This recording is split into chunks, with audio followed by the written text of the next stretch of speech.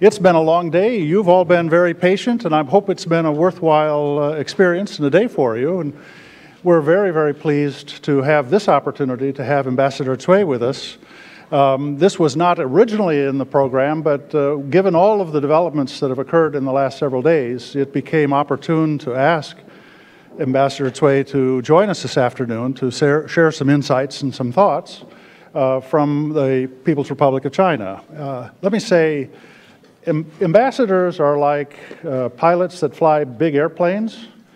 You know, most of the time you don't really care because the plane is flying itself, but it's when you have really severe turbulence that you're glad you have an experienced pilot.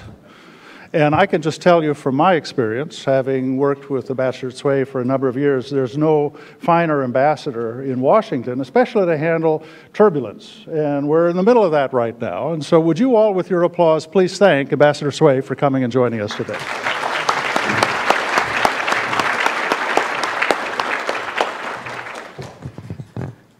Thank you very much, Dr. Hamre. Thank you for your very kind words. I'm not sure whether I have the license to, to be a pilot. but I'm certainly here to enjoy this opportunity of exchanging my views with all of you. I think, well, it's always so good for me to come back to CSIS. I think I spend more time here, perhaps, than in any other think tank in Washington, D.C. Uh, now we are here today to discuss about to discuss the situation of South China Sea. And for that matter, let me first of all refer all of you to two important statements issued by the Chinese side earlier today. One is the statement by the government of China on China's territorial sovereignty and maritime rights and interests in the South China Sea. The other is a statement issued by China's foreign ministry on the award of the arbitral tribunal. I think these two statements outline China's position with great clarity and authority. I would strongly recommend all of you to have a careful reading of these two documents. And on that basis, within the framework of these two important statements, let me try to offer a few comments, and maybe we could discuss these points of view. First, why China rejects the tribunal, this arbitration. We believe that the submission, the initiation of this arbitration case violates the general practice that arbitration should be premised on state consent. And China made an optional exception declaration back in 2006 in accordance with Article 298 of the Convention on the Law of the Sea, which excludes issues like maritime delimitation from such processes. So this case is done without the consent of China.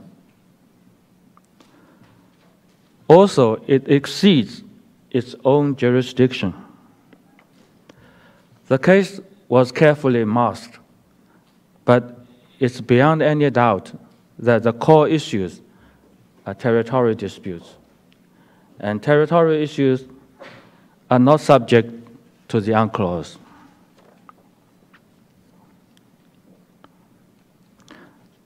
People may say the tribunal may decide its own jurisdiction,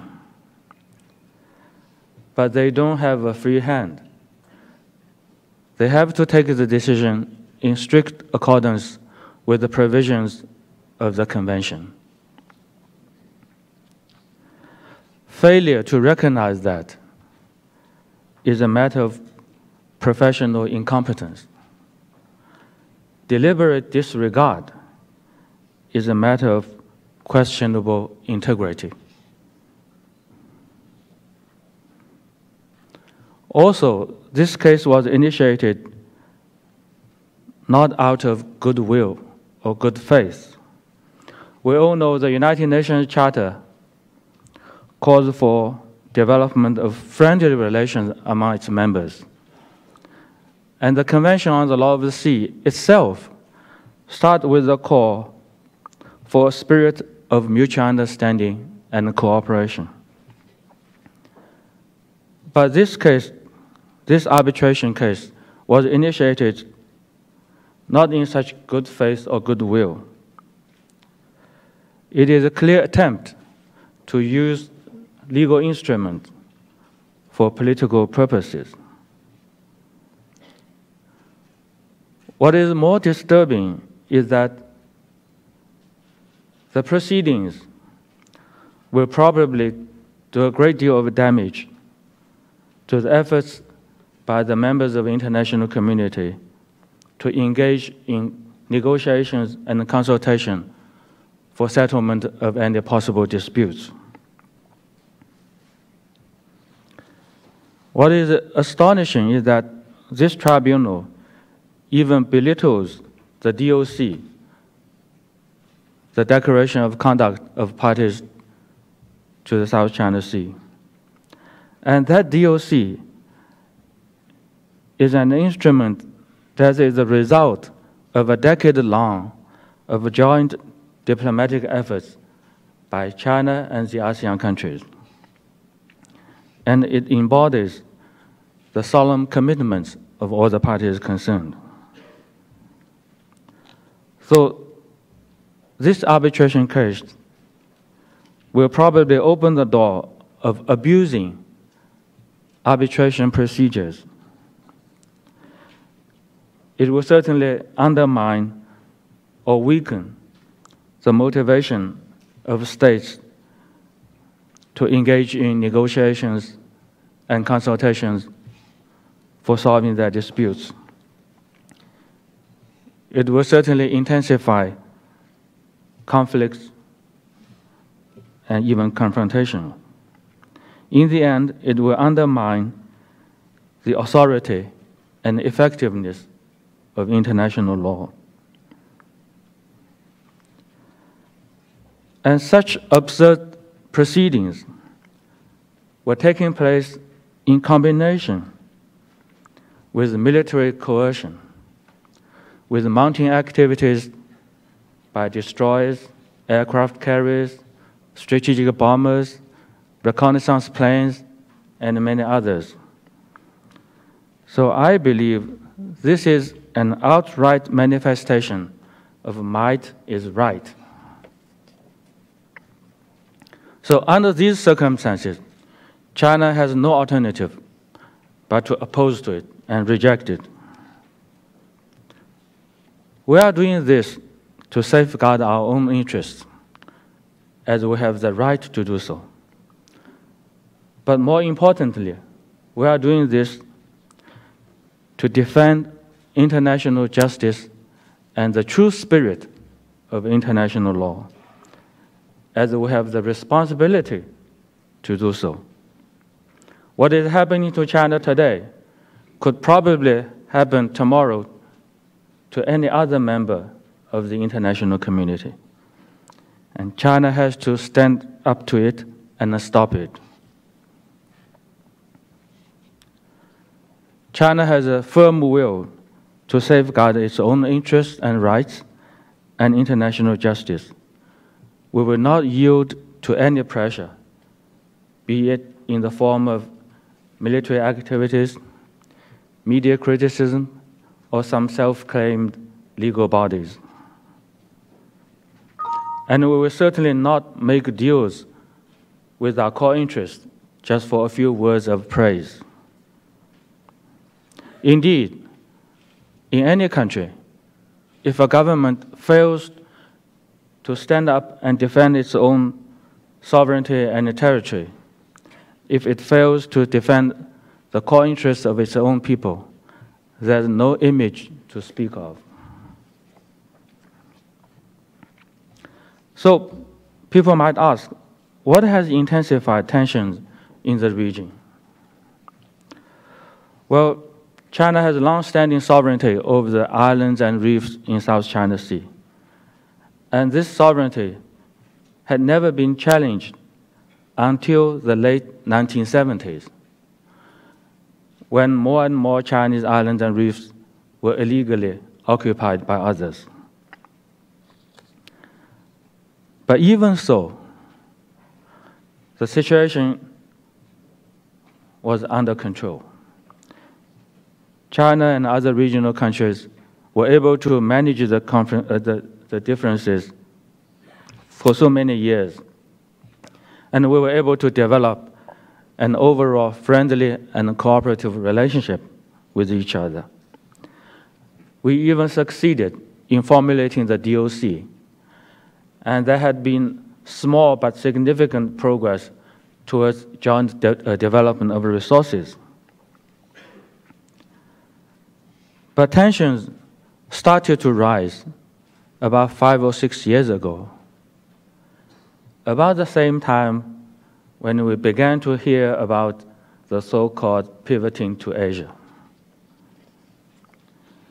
So in the last few years, disputes intensified, relations strained, confidence weakened, and these issues have taken up so much time and energy at so many regional and international fora. Such time and energy should have spent on the promotion of cooperation. Have anyone really benefited from this? I don't think so. Not China, not ASEAN countries, not even the United States in the long run.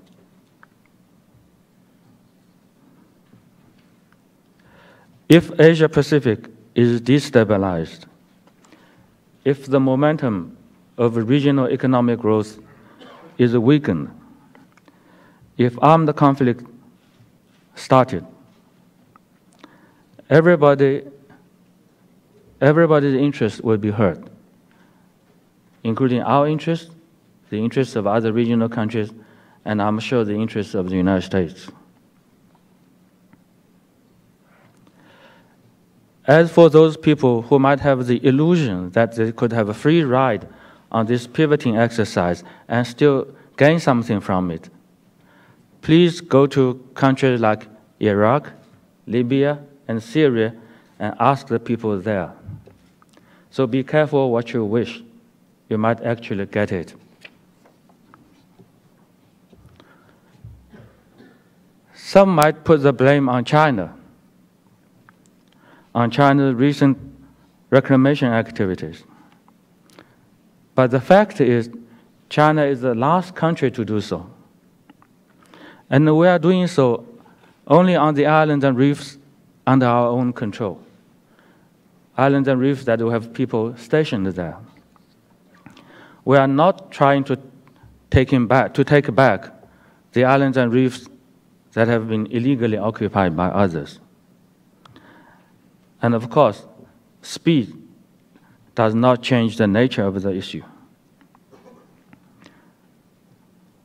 And with the completion of the facilities that we are building there, I'm sure we'll be able to offer more international goods, services for civilian users.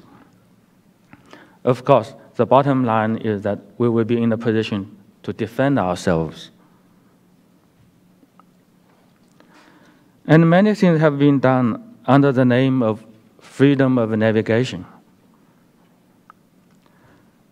But freedom of navigation for commercial vessels have never encountered problems in South China Sea. And the so-called freedom of navigation operations by the United States were originally designed as a countermeasure to the provisions of the UN Convention on the Law of the Sea.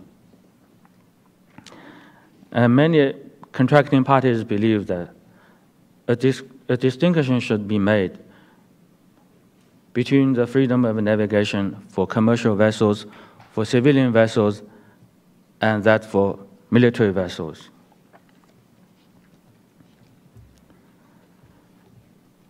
China firmly stands for freedom of navigation in South China Sea because these sea lanes are the economic lifelines for China and for many regional countries. We will do everything possible to safeguard the unimpeded flow of commerce and stop any attempt to destabilize the region. But what worries us is that that might be some self fulfilling prophecies. Such an assembly of aircraft carriers, airplanes, sophisticated weapons could pose a real threat to the freedom of navigation of commercial and civilian vessels. Such a concentration of firepower anywhere in the world would be a source of concern. So, how should we deal with the disputes now? I believe negotiations and consultation among the parties concerned still offer the most feasible and effective way. Diplomatic efforts should not be blocked and will not be blocked by a scrap of paper or by a fleet of aircraft carriers. China remains committed to negotiations and consultations with other parties. This position has never changed and will not change. In fact, China has a, an excellent record in this regard. We have already resolved the boundary issues with 12 neighbors out of 14 on the land. And we even have agreement with Vietnam for part of the maritime delimitation in what we call Beibu 湾 and others might call Tonkin Bay. So we are confident that China and the other parties concerned, if we are not disturbed, will be able to resolve the disputes over time through negotiations and consultations. And this record of China's of solving boundary issues with its neighbors, I think is quite unique in the world. I don't think you could give me another example of solving such long and long-standing border issues with its neighbors in the last few decades. So the door is always open for negotiations and consultations. And we have full confidence in our relations with our neighbors, particularly the ASEAN countries. Maritime disputes or territorial disputes is only part of the relations between China and some of the ASEAN countries.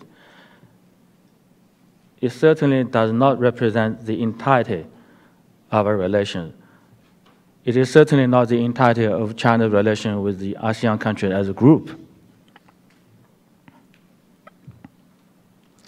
And we have been neighbors for centuries.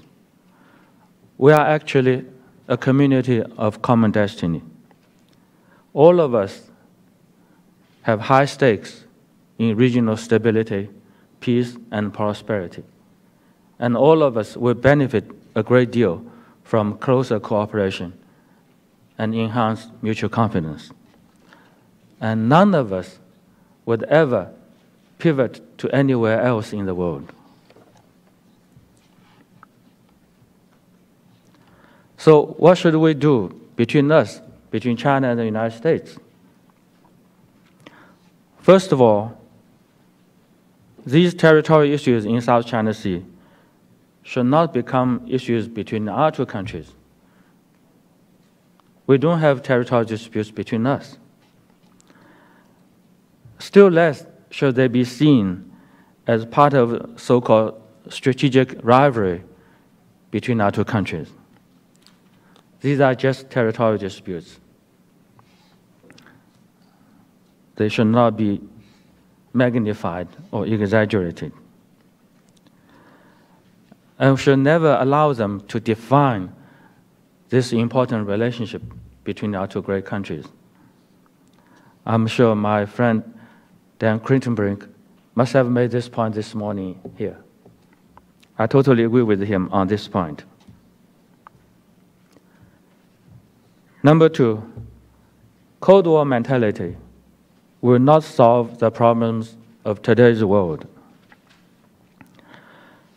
Today, the world needs more than ever before partnership among the countries, especially the major players. Today, the world needs more than ever before a set of new international relations centered on win win cooperation. So, we in China, we stand for a new model of relationship with the United States characterized by no conflict, no confrontation, mutual respect, and win win cooperation. We want to see a constructive and a positive interaction in the Asia, Asia Pacific between our two countries. And we are here to see what kind, what kind of a choice the United States will make, how you see the world today, how you see China's development, how you see this relationship between our two countries. I know this year you have important choices to make, but this is also an extremely important choice for you to make. Will you make the right choice? Can we go forward with a win win partnership? I hope you make the right choice. I hope you do so in a very clear way. So these are my initial comments. Perhaps we could spend the next few minutes uh, having some exchanges. Thank you very much for your patience.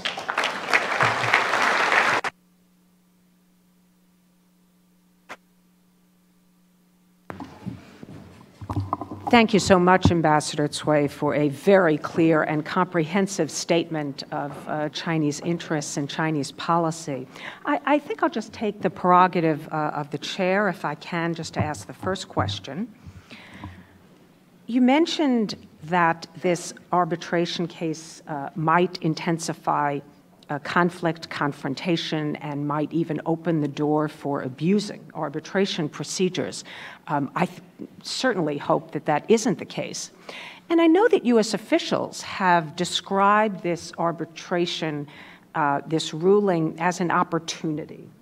Uh, an opportunity to put these territorial disputes on a diplomatic track so that uh, there could be fishing agreements negotiated, maybe joint development schemes, uh, that disputes could really be shelved, as Deng Xiaoping talked about uh, so long ago. So, do you think that there could be a pathway forward, whether it's because of this ruling or in spite of this, where there could be bilateral or multilateral negotiations of this kind without preconditions, without other smaller countries conceding sovereignty to China before they uh, agree to engage in, uh, in bilateral or multilateral uh, negotiations.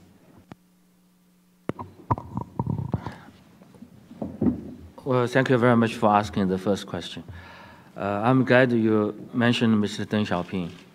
Actually, the idea to shelve the disputes and engage in joint development was a proposal he made during one of his meetings with a delegation from the Philippines in the 1980s. So it has been China's consistent position that we should try to seek settlement of disputes through negotiation, through diplomatic channel. And in the meantime, we should engage in joint development. Unfortunately, they had very few positive responses. And the fact is clear whether this arbitration has reduced or enhanced the possibility of diplomatic solution. I think the fact is clear. It certainly undermines the possibility of diplomatic efforts. And some people believe that smaller countries should refuse to negotiate with somehow bigger countries because they are weaker, they are smaller. But if that logic stands, all the countries in the world should refuse to negotiate with the United States because you are the most powerful country in the world. I don't think this is your intention. Thank you. Thank you, Ambassador. We're now going to open up the floor uh, for questions. We have approximately 15 minutes, and I'd ask that you raise your hand to ask for uh, uh, the microphone will come to you, and please identify uh, yourself, and please make your question concise. Uh, so, okay, this woman here in the front. Please bring the microphone up. Thank you very much.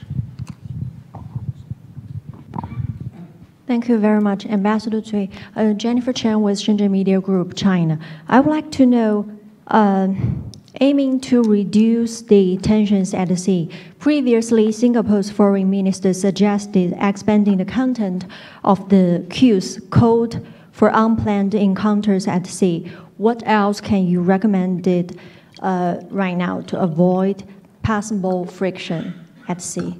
Thank you very much. I'm sorry, could you? Uh... In addition to CUES, the code for unplanned encounters at sea, which our militaries have agreed on, I see, I see. Pacific ah, militaries, yeah, yeah, are there other suggestions? That was the question.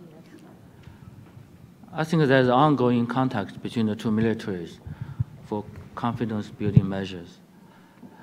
And right now, Chinese Navy is in Hawaii taking part in the RIMPAC exercise. We should both encourage such exchanges between the two militaries and this kind of uh, joint efforts for confidence building measures. But of course, we have to support this good intention with our actions. So I hope that the U.S. will be very careful about mounting military activities in South China Sea. Such intensity and frequency of the military presence and activities by the U.S. military there, I don't think it will, will help us to enhance mutual confidence. It will really help us to implement the uh, CBM uh, measures. And I don't think uh, under such circumstances we'll be able to uh, reduce the possibility of possible conflicts.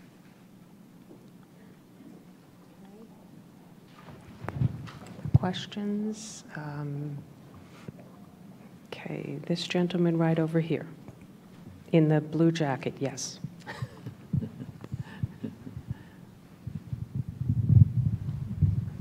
Thank you, Ambassador. Li Peng Hui Zhang with People's Daily of China. So, a follow-up question on bilateral talks between China and the Philippines. Just now, you mentioned that the door is always open for uh, negotiation and consultation. My question is, what is the basis for that kind of negotiation? Thank you. We have always wanted to have bilateral negotiations with the Philippines.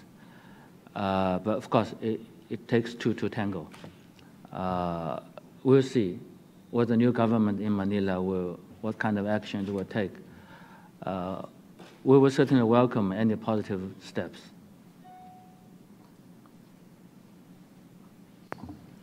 Up front. Hopefully, a non reporter, since we've had so many. Okay, Are you okay. a reporter too? At least I, I he- really, he's not it's just Chinese all the press, but not a Chinese reporter. Please go ahead. You'll be surprised. Uh, Roe from CCTV English.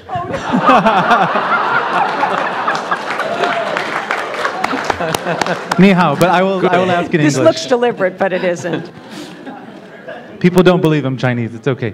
Uh, Ambassador Cui, good to see you again. Um, I, I, was wondering if, following the award in uh, The Hague, uh, A, if you have been in touch with U.S. officials today, if you've received any pressure from them or any um, advice from them or guidance, and also if you predict that there will be any change of policy or action uh, in Beijing as a result of uh, what happened in The Hague. Well, first of all, let me express my congratulations on the internationalization of Chinese media.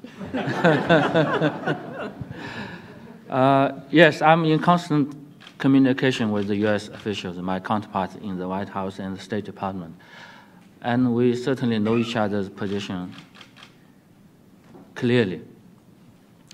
I hope such coordination and communication will continue and intensify to avoid any misunderstanding or miscalculation.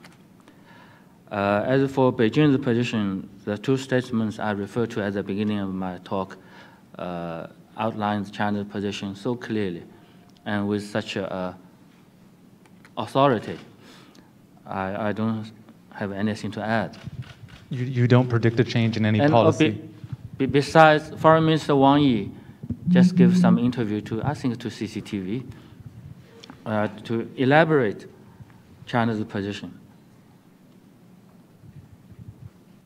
Okay, I'm going to ask the next question not be from a reporter, if that's okay. All right. Uh, the young man in the sort of grayish black shirt right there. Yes, please wait for the microphone. Yes, hi, I'm Hong. I'm from I'm a student at the Harvard Kennedy School. I would like to ask, you mentioned that China would do everything possible to safeguard and to stop any attempts to destabilize the region. What actions do you um, interpret to destabilize the region, and what measures is China ready to take?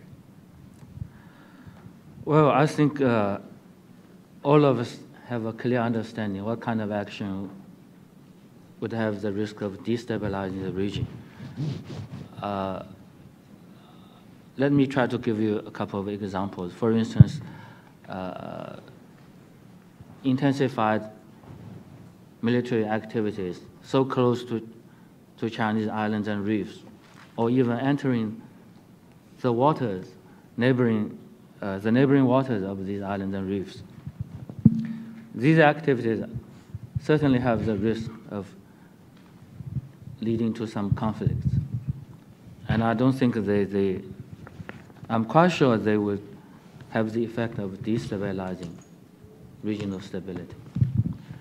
And I think this case of arbitration itself is also something that could have the consequences of destabilizing the region because it undermines the diplomatic efforts. It weakens the motivation of any possible parties to any possible disputes to seek diploma uh, diplomatic negotiations. So I hope that all parties concerned will refrain from taking such action.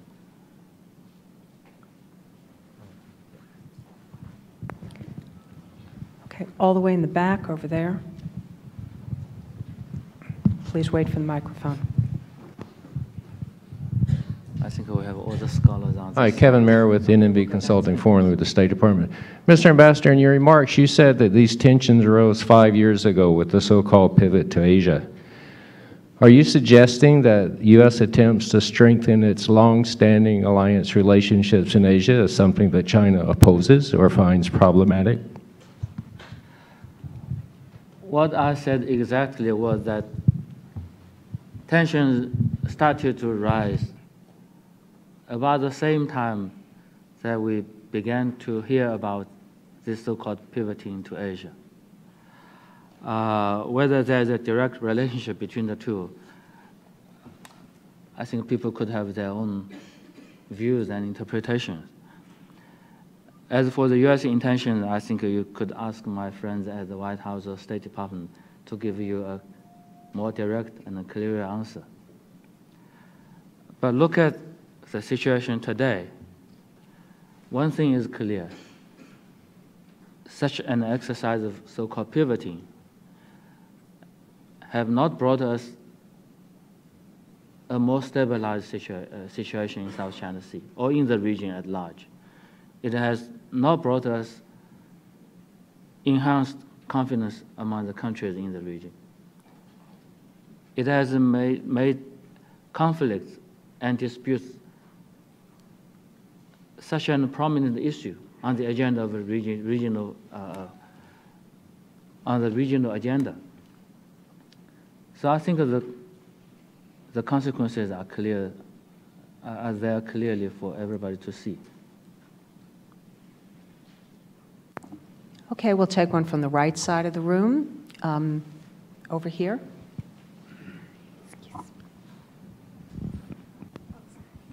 I'm Charmaine Deogracias from East West Center.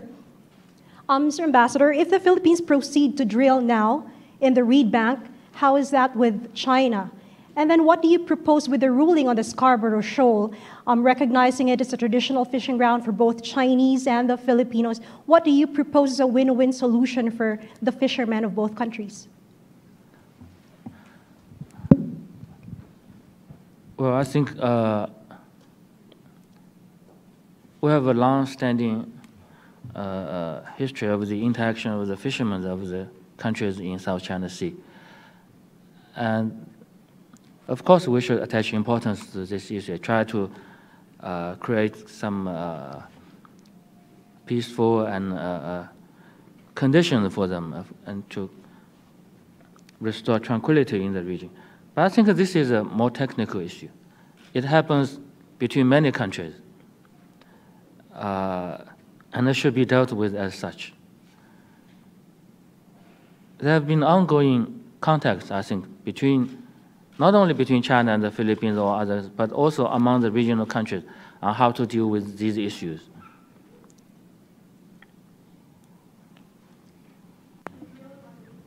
Uh, Drilling on Reed Bank.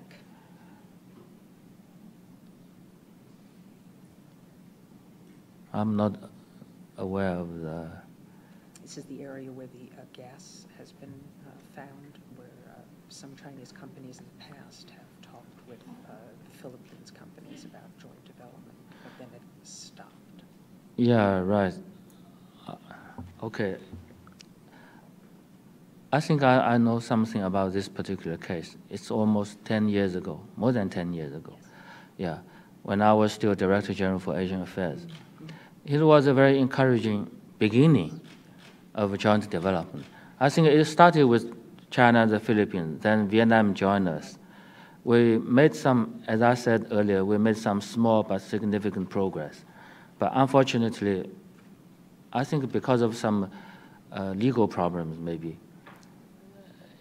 it did not make further progress we are open to have such joint activities with others, and I hope we could learn the experience from that initial project, and maybe we could do a better job. All right, one last question in the back over here.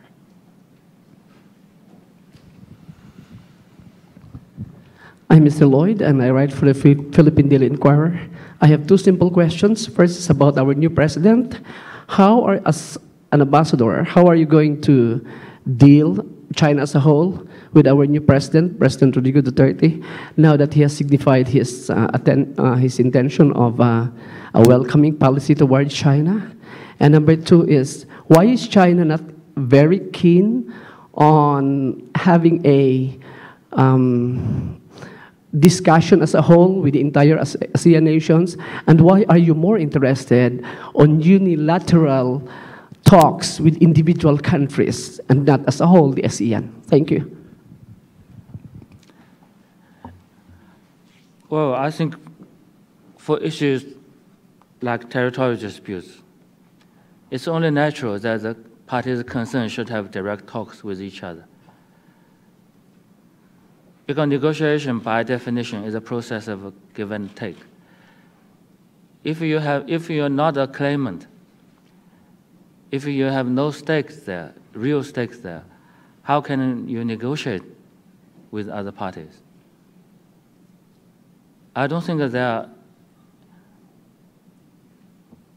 I don't think we have a successful uh, international experience where a non-claimant is taking a substantive part in negotiations between the claimants and made some positive contribution to that.